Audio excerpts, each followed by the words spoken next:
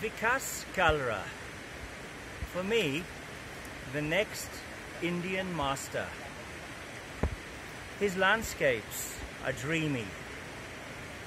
His faces can be scary, invigorating, calming.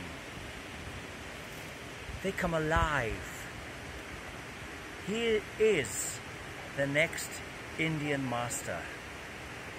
If you'd like to see his work, Uh, Kapil Hermalapi has numerous works from his hand in his amazing, unique little art gallery in Hauz Khas Village called Rang Art Gallery.